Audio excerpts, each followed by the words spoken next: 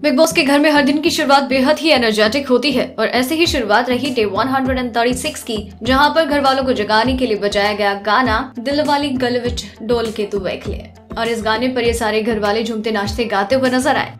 लेकिन खास बात ये रही कि लिविंग एरिया में लगाई गई थी बिग बॉस सीज़न तेरह की ट्रॉफी जिसे देखकर सारे घर वाले बेहद खुश नज़र आए। उसे छूते हुए दिखे, उसे गले लगाते हुए दिखे, उसे चूमते हुए नज़र आए। सिद्धार्थ शुक्ला, पारस छाबरा रश्मि देसाई हो, माहिरा शर्मा हो, हर कोई इस ट्रॉफी को गले लगाता हुआ नज़र आया। तो वही माहिरा शर्मा को लेकर शहनाज कहते हुए नज़र आई कि रैन दे, तू नॉमिनेटेड है।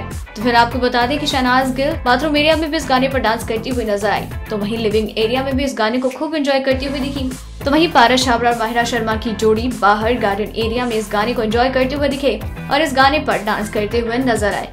बिग बॉस के स्टेडी सीज़न की और भी कई टेढ़ी खबरें यूँ ही जानने के लिए बने रहिए हमारे साथ।